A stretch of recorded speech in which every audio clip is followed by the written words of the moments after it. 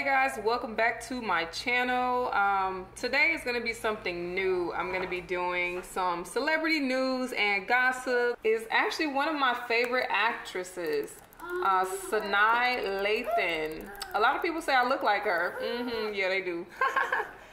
anyway, um, so I was scrolling down my Instagram as usual, and I came across the Shade Room darlings. And on the Shade Room, they showed a video clip of Miss Lathan bald.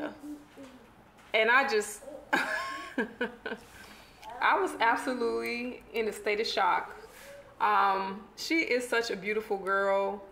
I mean, her head looks absolutely amazing, and she ain't got no lumpy ass head, so that's always a good thing. But I'm a little disappointed. Um, I don't know really how to feel. I'm a little hurt. I feel betrayed. Um, I don't know. I'm really not feeling the bald head on her.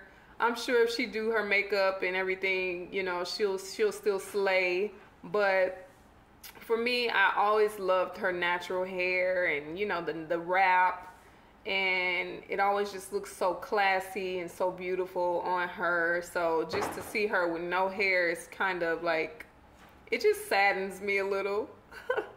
but um, I'm going to insert these clips of the pictures and you guys tell me what you think.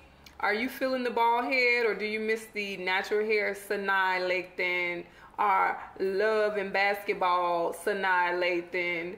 Um, and just drop it in the comments below what you guys think um, of her new haircut. Um, is it hot or is it a no? Um, thanks again guys for tuning in. Subscribe to my channel and give this video a huge thumbs up if you enjoyed this. Bye.